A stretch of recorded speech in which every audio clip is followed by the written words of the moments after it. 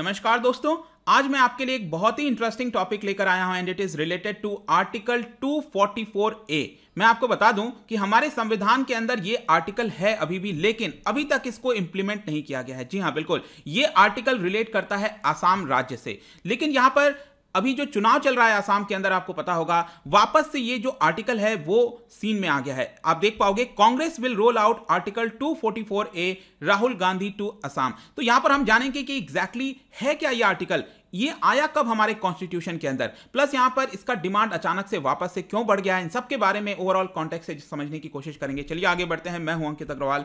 और अपडेट के लिए आप मुझे फॉलो कर सकते हैं इंस्टाग्राम फेसबुक और ट्विटर पर मेरे लेक्चर की हर पीडीएफ आपको फेसबुक पर तो मिलेगी।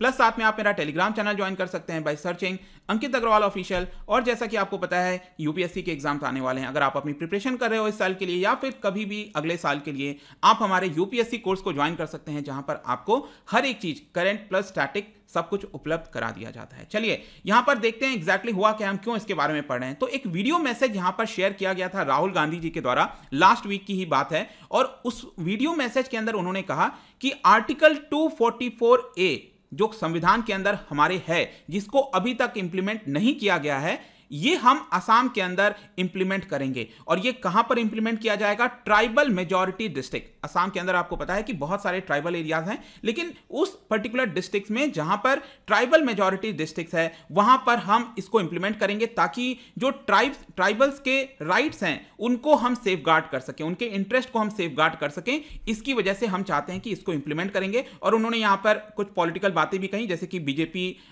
कल्चर को खत्म कर रही है, और कांग्रेस पार्टी जब आएगी तो यहाँ पर 244 ए को जो है वो डाइल्यूट करने से बचाएगी और इसको इंप्लीमेंट करेगी। लेकिन यहाँ पर दू, दूसरी पार्टी भी ये कह सकती है कि आपकी सरकार अभी तक इतने समय से थी तो आपने इसको क्यों नहीं इंप्लीमेंट किया? चलिए ये सब पॉलिटिक्स है ये चलता रहेगा लेकिन हमारे और आपके लिए यहाँ पर इंपॉर्टेंट है कि यह आर्टिकल टू ए है क्या एग्जैक्टली तो देखिएगा यहाँ पर कहा गया है कि आसाम के अंदर ये सिर्फ़ और सिर्फ़ आसाम राज्य के लिए आपके एग्ज़ाम में आ सकता है कि आर्टिकल 244 एक किस चीज़ से रिलेट करता है कौन से स्टेट से रिलेट करता है तो आसाम से करता है। तो यहाँ पर यह बोला गया है कि आसाम के अंदर जो ट्राइबल एरियाज़ हैं, कुछ ट्राइबल एरियाज़ हैं जहाँ पर बड़ी पॉपुलेशन है ट्राइबल की, उनको ऑटोनोमस स्टेट का दर्जा दिया जा सकता है। ध्यान रखिएगा ऑटोनोमस स्टेट का मतलब यह नहीं है कि आसाम से वो अलग राज्य बन जाएँगे। इसका मतलब यह हुआ कि आसाम के अंदर रहते हुए ही यहाँ पर उनको एक ऑटोनोमस राज्य का दर्जा दिया जाएगा। वो आसाम के अंदर ही रहेंगे, वो अलग से राज्य में काउंट नहीं होंगे, लेकिन उनका हर एक चीज़, जैसे कि आसाम के अंदर आपको पता है, किसी भी राज्य के अंदर जो लेजिस्लेचर होता है लेजिस्लेटिव असेंबली होती है तो वैसा ही लेजिस्लेटिव असेंबली उस पर्टिकुलर क्षेत्र में खोल दिया जाएगा। उनके खुद के काउंसिल ऑफ़ मिनिस्टर्स होंगे यहाँ पर चाहो तो लेजिस्लेचर हो भी सकता है, नहीं भी हो सकता है काउंसिल ऑफ़ मिनिस्टर्स हो भी सकते हैं, नहीं भी हो सकता है। लेकिन जितनी भी चीज़ें हैं उस पर्टिकुलर रीजन के अंदर, वो वहाँ के लोगों के द्वारा ही देखा जाएगा।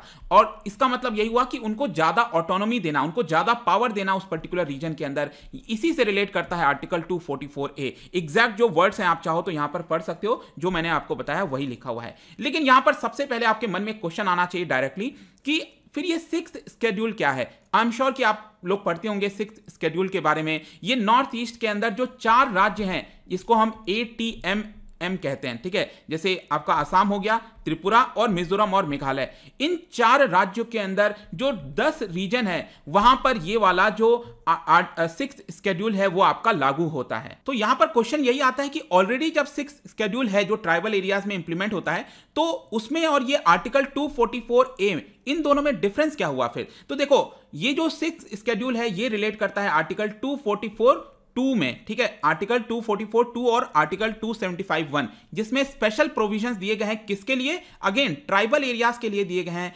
उसमें क्या होता है, इस सिक्स स्केड्यूल में कि जो पॉलिटिकल ऑटोनॉमी है और डिसेंट्रलाइज्ड गवर्नेंस है, वो दिया जाता है। इसमें आई एम श्योर आपने एक काउंसिल के बारे में सुना होगा जिसको कहा जाता है ऑटोनोमस काउंसिल तो बेसिकली क्या है कि ये जो चार राज्य हैं, इसमें दस ऑटोनोमस काउंसिल आपको देखने को मिलेंगे। जैसे मेघालय में तीन ऑटोनोमस काउंसिल है, मिजोरम में दो हैं सॉरी मिजोरम में भी तीन है त्रिपुरा में सिंग, सिंगल है एक है और आसाम के अंदर तीन है। तो टोटल मिलाकर दस ऑटोनोमस काउंसिल है। इस ऑटोनोमस काउंसिल को आप अलग राज्य नहीं बोलते हो, लेकिन मैंने आपको क्या बताया? ये जो आर्टिकल 244 ए है, इनको ऑटोनोमस स्टेट का दर्जा दे दिया जाता है मतलब और ज़्यादा पावर मिल जाती है। ऑटोनोमस काउंसिल के अंदर स्टिल यहाँ पर क्या होता है कि उनको भी कुछ पावर्स दी जाती हैं, लेकिन उतनी पावर नहीं दी जाती जितना आर्टिकल 244 ए के अंदर हो सकता है। आर्टिकल 244 में फॉर एग्जांपल मैं आपको बताता हूँ लॉ एंड ऑर्डर का भी सिचुएशन है, जो कंट्रोल है, वो वहीं के लोगों को दे दिया जाता है। लेकिन सिक्स स्केड्यूल के अंदर जो लॉ एंड ऑर्डर है, वो राज्य के पास ही होता है, वो उधर नहीं दिया जाता है। आई होप कि आप समझ गए होंगे। बहुत ही सिंपल है। आर्टिकल 244 ए जिसकी मांग चल रही है कि आसाम के रीजन में लगाना चाहिए,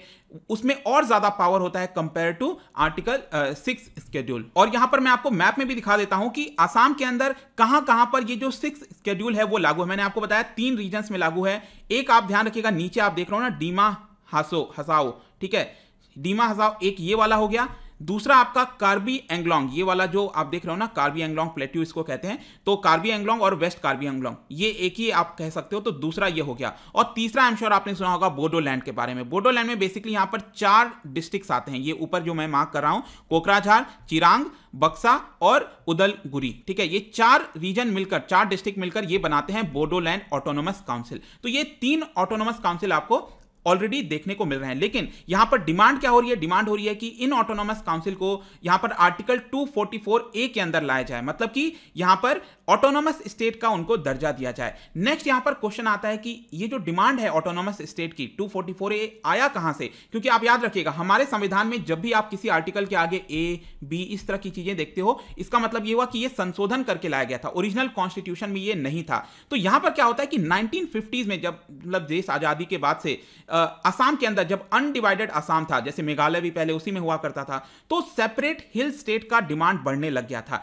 1960 में क्या हुआ कि जितने भी हिली रीजन्स के अंदर जो ट्राइबल ट्राइबल पार्टीज़ थी, वो एकजुट हो गई, अपने आप को मर्ज कर लिया और all party hill leaders conference बना दिया। और इस कॉन्फ्रेंस का मेन यही मकसद था, उनको अलग राज्य का दर्जा दिया जाए। और काफ़ी बड़ा एजिटेशन चला था। फाइनली लेकर इसको मेघालय जो है 1972 में क्रिएट होता है। तो इसका कारण यही है मेघालय क्रिएट होने का, कि जो डिमांड थी ट्राइबल्स की, उसका यही था कि अलग राज्य का दर्जा दिया जाए। तो यहाँ पर क्या हुआ? मैंने अभी आपको दिखाया करबी एंगलोंग और जो नॉर्थ कच्चर हिल्स है, इन लोगों को भी बोला गया था कि अगर आप चाहो तो मेघालय में शामिल हो सकते हो। जी हाँ ये जो आप रीजन देख रहे हो ना, करबी, एंगलोंग और ये ये चाहते तो मेघालय में शामिल हो सकते थे, लेकिन उनके जो लीडर्स थे, उन्होंने डिसाइड किया कि नहीं, हम हम जो है आसाम के अंदर ही रहेंगे, क्योंकि जो उस समय कांग्रेस पार्टी थी, उन्होंने उनको प्रॉमिस किया था कि आर्टिकल 244 ए के तहत उनको पावर हम दे देंगे। आई होप कि अब आपको समझ में आ गया होगा। उस समय यहाँ पर सरकार ने बोला था कि हम इसके तहत आपको पावर दे देंगे तो आप आसाम में ही बने रहो और लीडर्स ने मान लिया।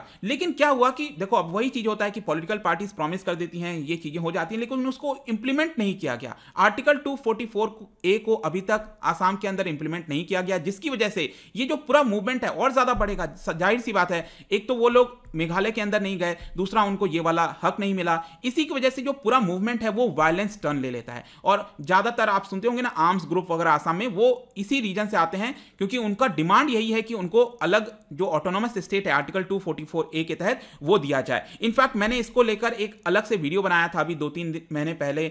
यहाँ पर करीब हज़ार करबी मिलिटेंट जो है, उन्होंने सरेंडर किया था चीफ मिनिस्टर की उपस्थिति में। और ऐसा उस समय किया गया। लेकिन यहाँ पर मैं आपको बता दूँ, आज भी अगर आप देखोगे, पूरे रीजन के अंदर जो हिली एरियाज़ हैं, जहाँ पर ट्राइबल पॉपुलेशन है, उनका पूरा पॉलिटिकल डिस्कोर्स इसी के अराउंड घूमता है। उनका डिमांड ही यही है कि उनको ऑटोमस जो राज्य है, उसका दर्जा दिया जाए मतलब कि आर्टिकल 244 ए को इंप्लीमेंट किया जाए। आई होप कि यहाँ तक चीज़ें आपको एकदम क्लियर हो गई होंगी। जहाँ तक बीजेपी का सवाल है, क्या बीजेपी इसको लागू कर रही है?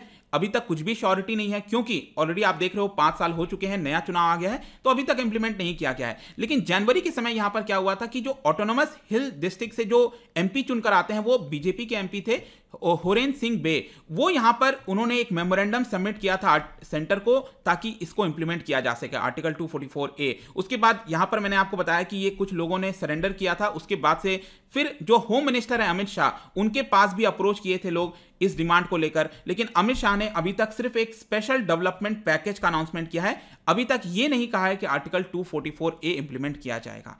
तो आई होप कि यहाँ पर अब आप कुछ चीज़ें जो क्लैरिटी है इसके बारे में इस आर्टिकल के बारे में ये इतना ज़्यादा इंपॉर्टेंट क्यों है और आसाम चुनाव के अंदर इसकी चर्चा क्यों रही है? एंड डेफिनेटली आप कह सकते हो कि इस बार के प्रिलिम्स में या फिर मेंस में इससे रिलेटेड क्वेश्चन आ सकता है एंड आई एम श्योर कि आप इसको अच्छे से आप टैकल कर पाओगे।